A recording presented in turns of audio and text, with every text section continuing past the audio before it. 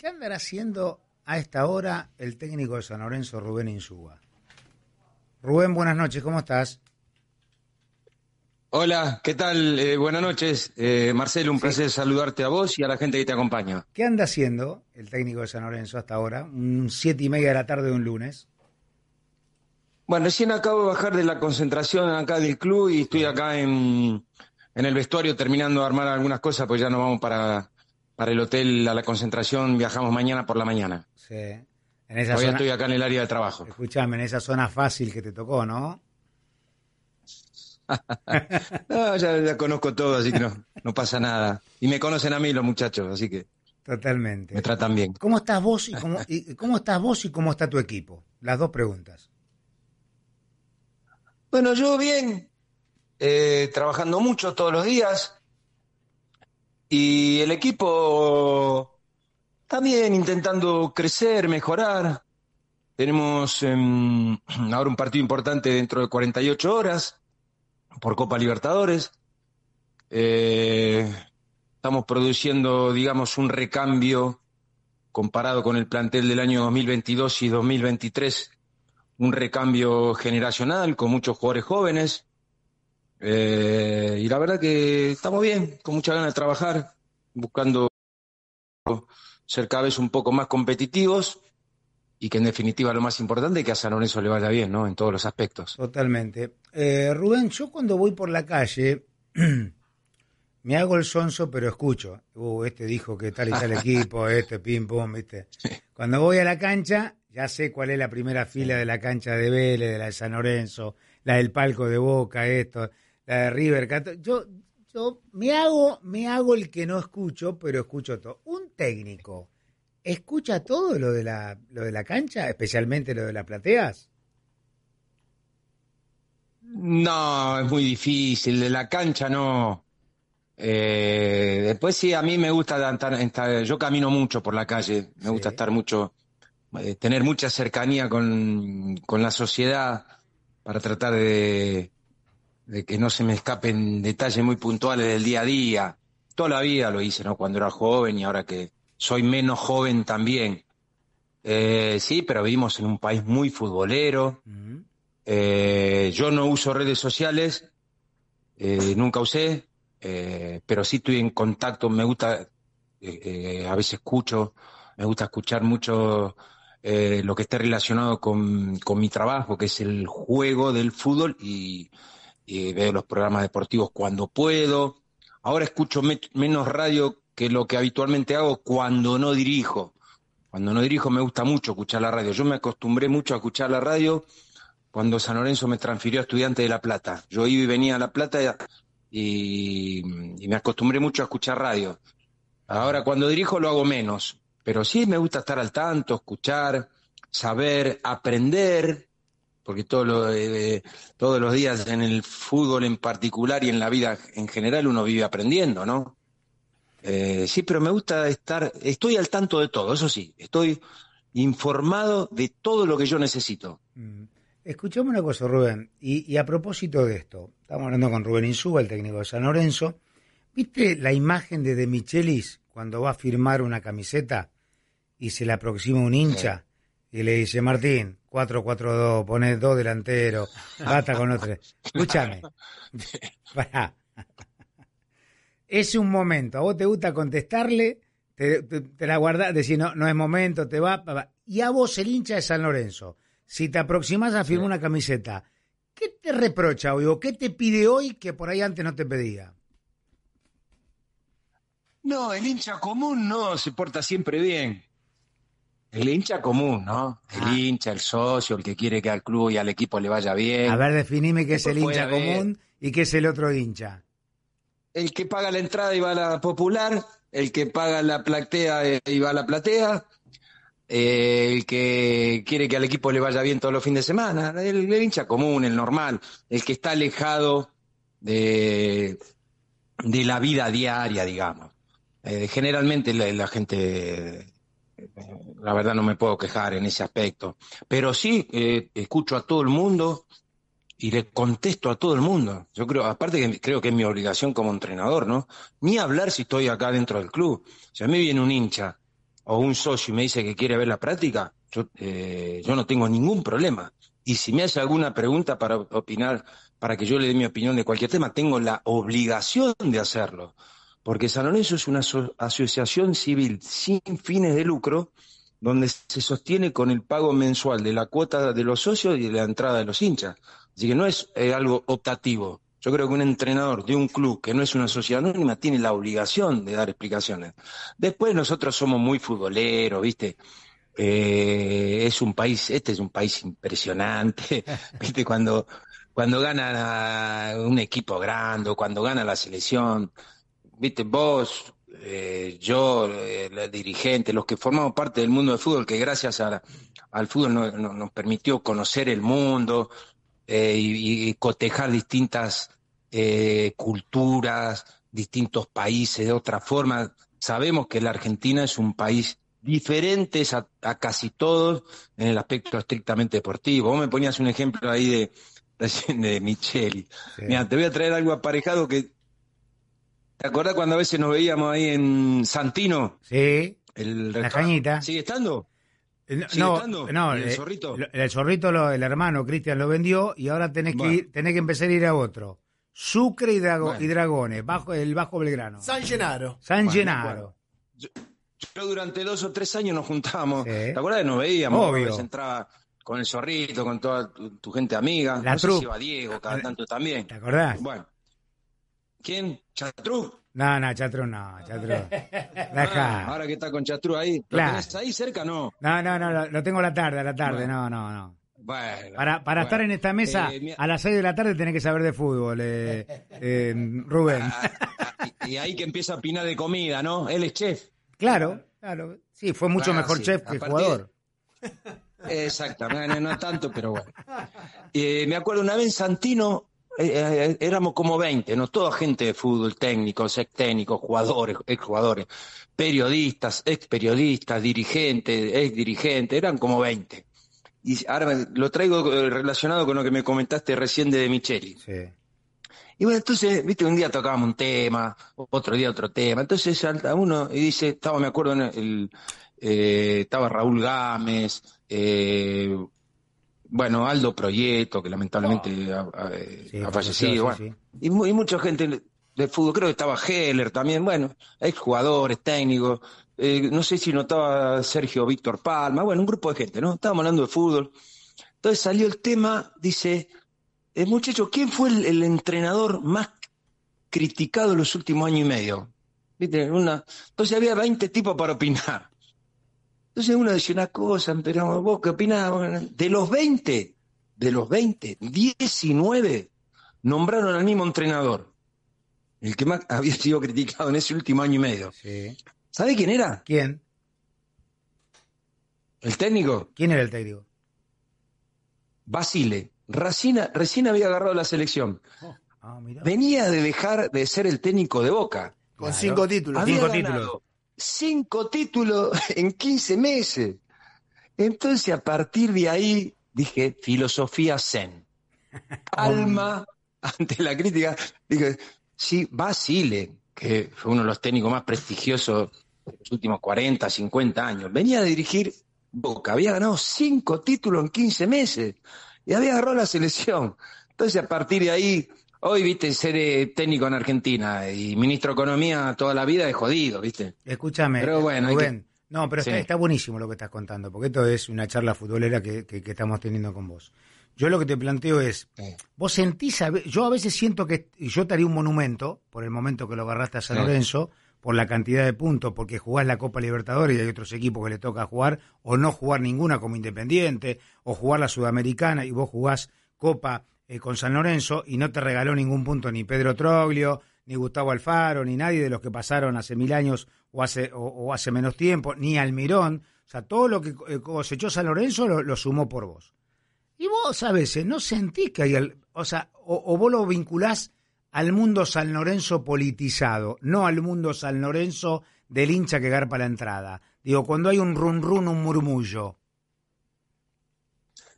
Ah, bueno, pero eso en los clubes grandes es normal, ¿no? Acá, eh, yo, mi opinión, lo que yo veo y palpo en todos los partidos de local en este que van a cumplir el 19 de mayo dos años, el comportamiento de la gente con el equipo de fútbol fue espectacular. A un partido que nos ha tocado perder, que perdimos muy poco, ¿no?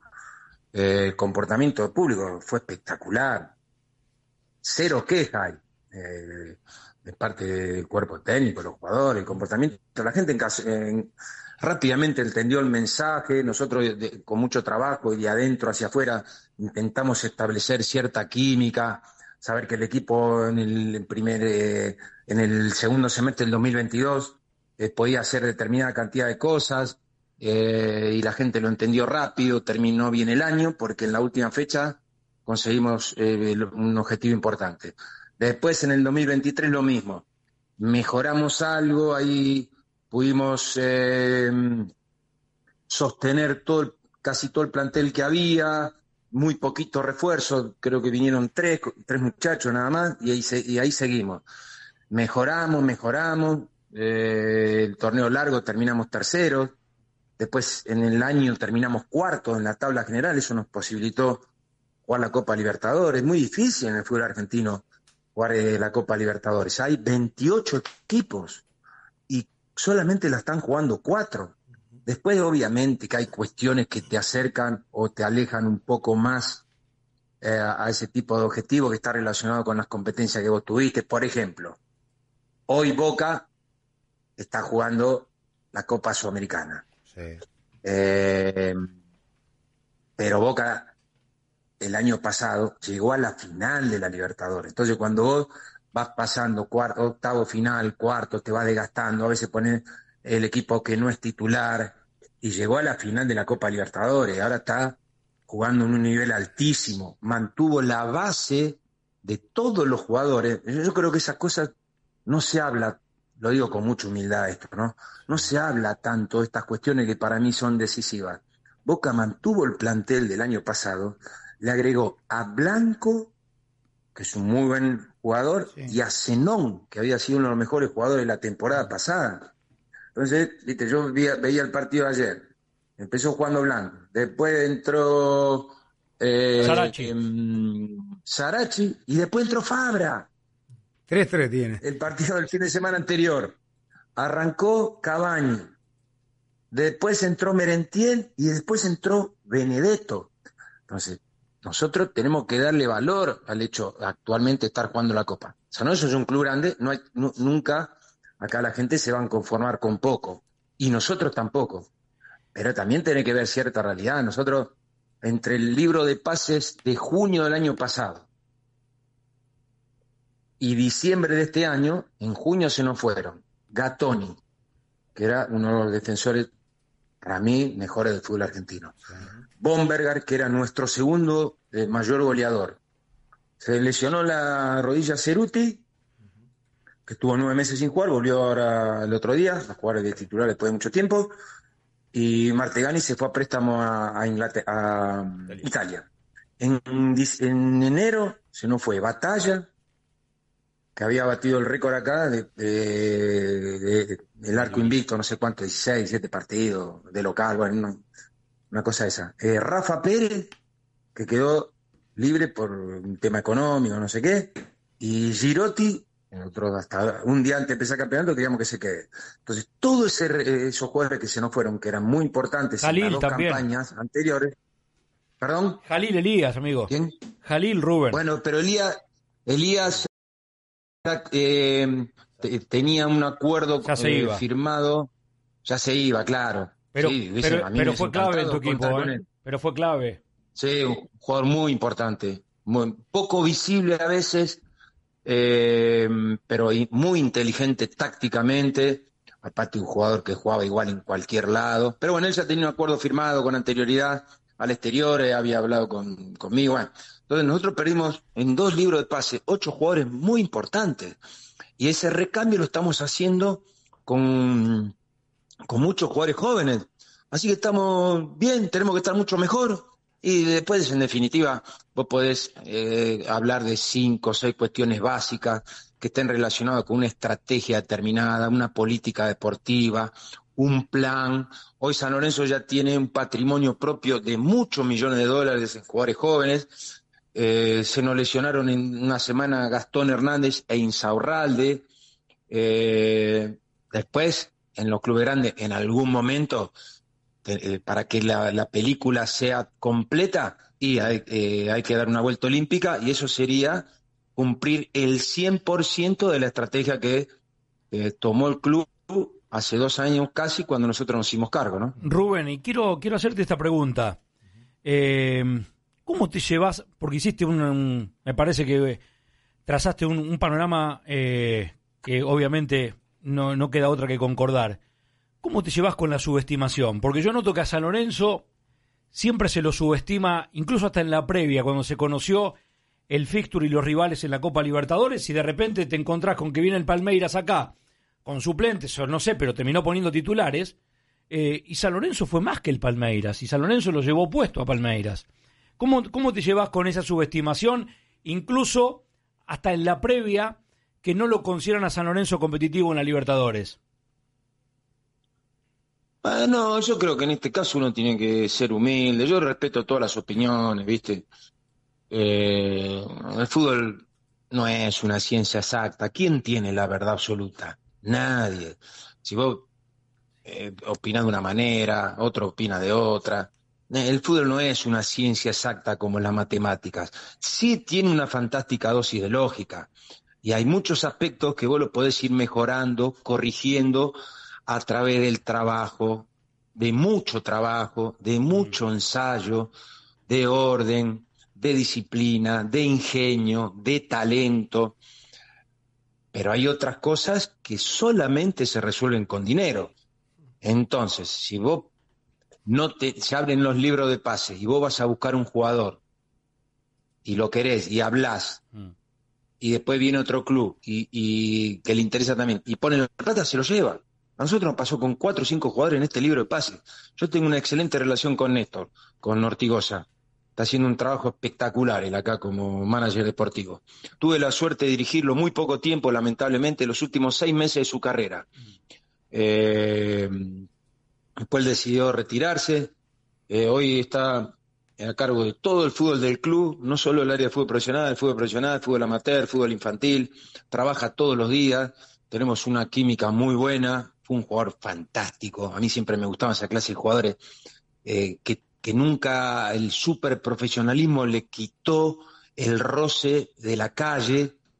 Y bueno, nosotros hablamos el año pasado cuando había antes de las elecciones en el club, eh, me vinieron a ver eh, presidente, eh, Marcelo Moretti con Néstor a mi casa, estuvimos hablando, le dije todo lo que pensaba, eh, todo el trabajo que estamos haciendo, bueno, estuvieron de acuerdo, nos ofrecieron una continuidad, hablamos de, de mantener todo lo que se podía el plantel, mejorarlo con refuerzo, pero después, cuando se abre el libro de pases, el que tiene más dinero tiene más posibilidad que el resto, yo siempre digo medio en broma, medio en serio. Yo tuve algunos amigos míos que les gustaba veranear en el exterior, ¿viste? En, el Caribe, en Miami, Punta del Este, y no podían, ¿viste? Se iban a San Clemente, Mar de. Uno ganó la lotería y ahora sí se puede dar el gusto. Y en fútbol pasa lo mismo. Nosotros eh, hicimos negociaciones, lo voy a decir porque lo dije en su momento también públicamente, con Santiago Solari, con eh, Romero, el que está jugando en en, Corinthians.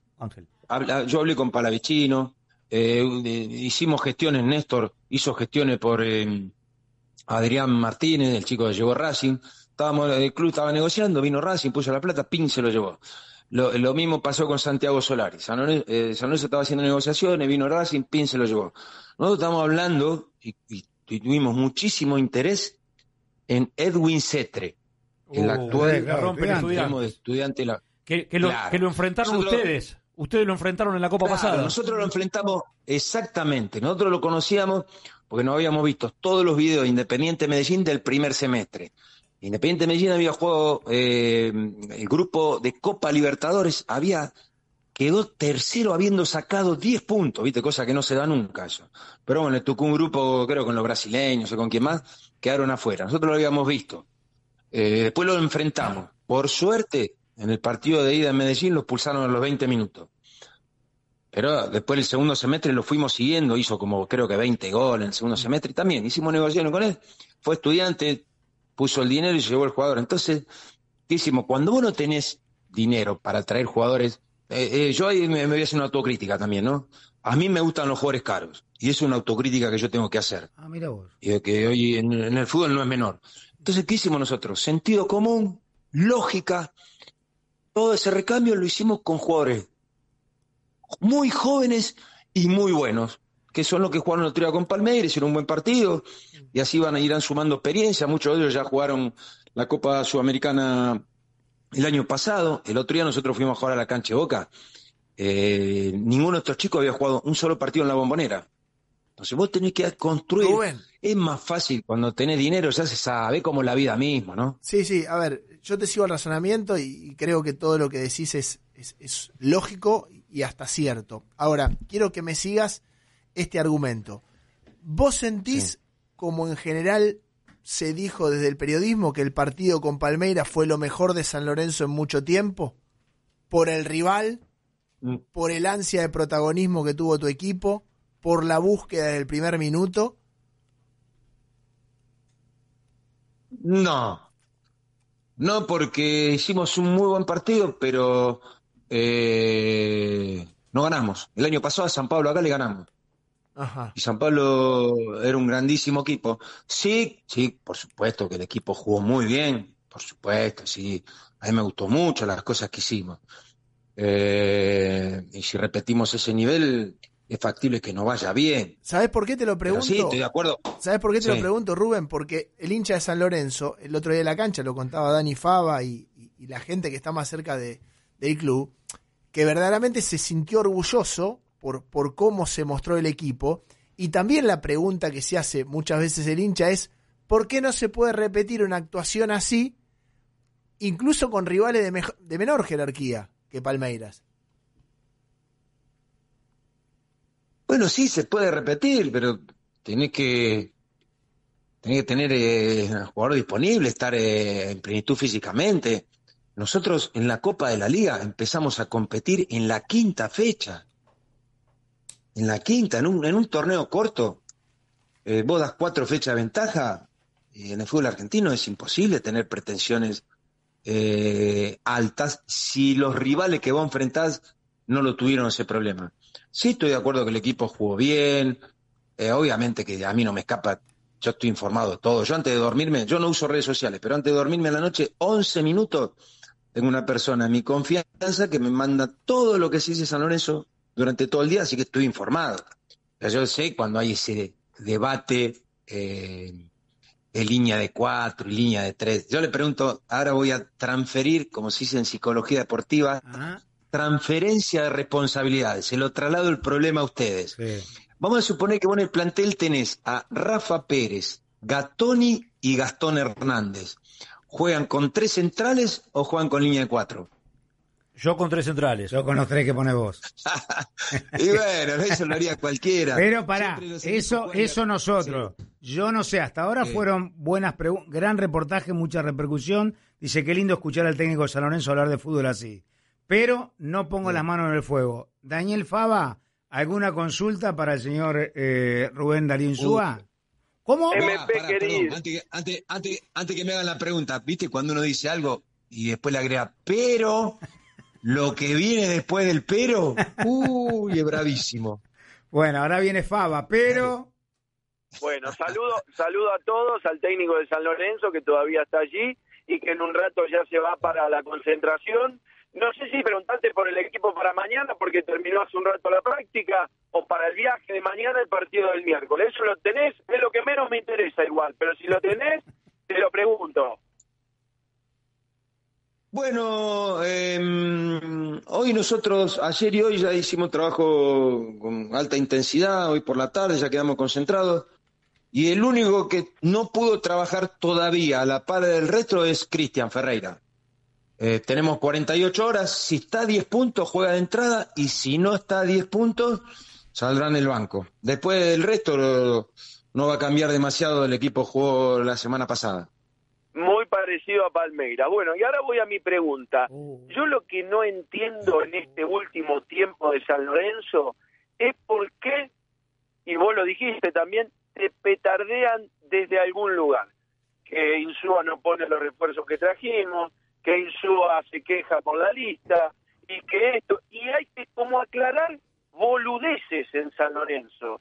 Y uno está para salir a aclarar esas pavadas, uno está para armar el equipo, hacer que gane, pero como que te instalan temas que vos tenés que perder tiempo y energía en salir a aclararlo. Y lo que te pregunto de una es, ¿quién y por qué hacen eso?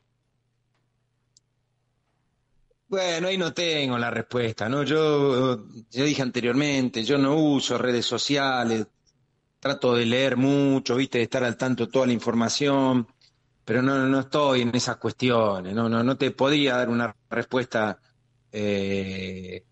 Bueno, pero, pero Sí, de los temas vos sí. hablás, Rubén, vos hablás de, de no, la lista la armé yo, vos, eh, no, los jugadores no juegan por tal motivo, vos hablás de los temas, más allá que se instalen a través de operaciones, de redes sociales y demás.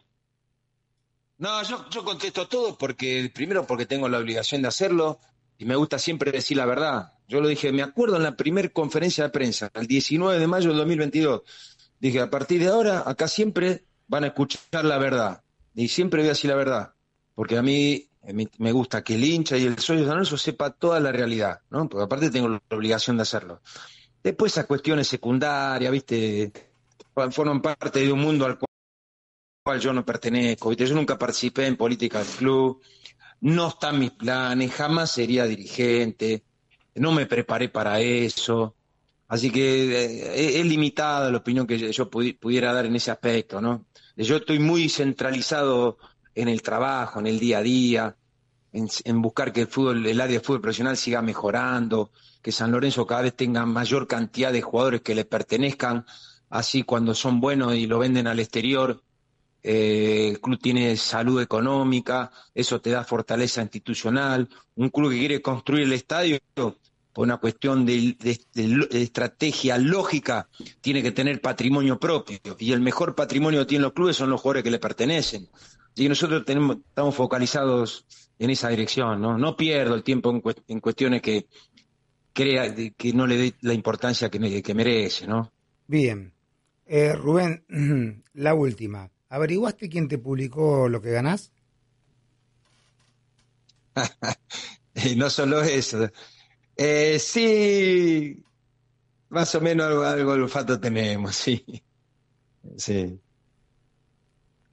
Sí, porque ustedes saben que por una cuestión de los clubes, no por mía, Sí, sí. hay algunos aspectos relacionados con, con los contratos profesionales que son confidenciales. ¿no? Y ese tema, y hace, hace poco también salió eh, que cosa que nunca había pasado en un año y medio, mm, el tema del médico, cuando dan, cuando terminan los partidos que dan el, el- el- estado de los jugadores, cómo terminan, y había salido que había seis jugadores lesionados y nada que ver.